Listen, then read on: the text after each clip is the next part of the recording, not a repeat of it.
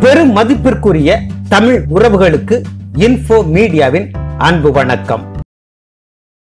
இருபத்தைந்து வருடங்களுக்கு முன்பு ஒரு இஸ்லாமிய சமூகம் இருந்தது. வெறும் கைலியும் அரக்கை சட்டையும் நீளமான தாடியுடனும் மனிதர்கள் இருந்தார்கள். வட்டியை விபச்சாரத்தை மதுவை வெறுத்தவர்களாக. பணம் இருந்தும் ஆடம்பரத்தை விரும்பாதவர்களாக. இறைவனுக்கு பயந்து சுய ஒழுக்கத்தை பேணியவர்களாக. வார்த்தைகளில் கண்ணியத்தை காத்தவர்களாக தங்களது மத கொள்கைகளை பிறர் மீது திணிக்க முயலாதவர்களாக அத்தனை மாற்று மத சகோதரர்களும் பாய் என்று அழைத்து அவர்களை கண்ணியமான இடத்தில் வைத்திருந்தார்கள். தொப்பி வைத்து தாடி வைத்து ஒரு இஸ்லாமியர் என்றால் அவரை நம்பி மாற்று மத சகோதரர்கள் தங்களது குடும்பத்தையே ஒப்படைத்து சென்றார்கள். அதற்காக அவர்கள் தங்களது இஸ்லாமிய நெறியை விட்டு கொடுத்ததும் இல்லை. தங்களுக்கு போதிக்கப்பட்ட ஒழுக்கத்தை சிறப்பாக பேணினார்கள். இடையில் ஒரு சமூகம் உருவாகியது. பாலைவன மணலில் பணம் சம்பாதிக்க போனவர்கள் அங்கிருந்து டிவியையும் டெக்கையும் அத்தோடு அரேபிய கலாச்சாரத்தையும் தூக்கி கொண்டு வந்தார்கள். ஆடம்பரத்தை விரும்ப ஆரம்பித்து அதை தனது அடுத்த தலைமுறைக்கும் போதித்தார்கள்.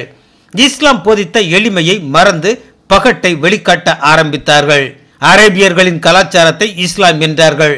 இஸ்லாம் எந்த கலாச்சாரத்தையும் போற்றவில்லை தூற்றவில்லை என்பதை அறியாமல் அரபு எழுத்துக்கள் மட்டுமே இஸ்லாம் என தூக்கி வந்த அந்த புதிய சமூகம் தங்களது வெளிநாட்டு போக்குவரத்தின் மூலம் ஹவாலா உண்டியல் தங்க கடத்தல் போன்ற இரண்டாம் நம்பர் வேலைகளை செய்ய ஆரம்பித்தது.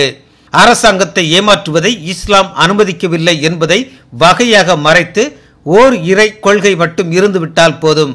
அதுவே இஸ்லாம் என்று வட்டி மற்றும் வரதட்சணை வாங்குவதற்கு வியாக்கியானம் சொல்லிக் கொண்டது. அதிலிருந்தே இன்னொரு சமூகம் உருவாகியது.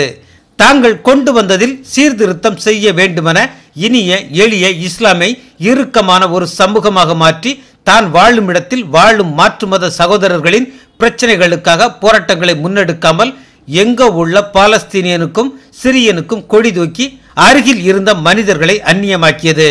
அந்த இருபத்தி ஐந்து வருடங்களுக்கு முன்பு வாழ்ந்த சமூகம் இஸ்லாமியனாய் வாழ்ந்தது. இன்று வாழ்கிற சமூகம் இஸ்லாமியனாய் நடிக்கிறது. இந்திய இஸ்லாமியர்களில் நூற்றுக்கு தொண்ணூறு சதவீதம் பேருக்கு இஸ்லாம் என்பது வாழ்வியல் முறை என்பதே தெரியாது. அவர்களுக்கு அது ஒரு அல்லாஹ் சாமி. நன்றி.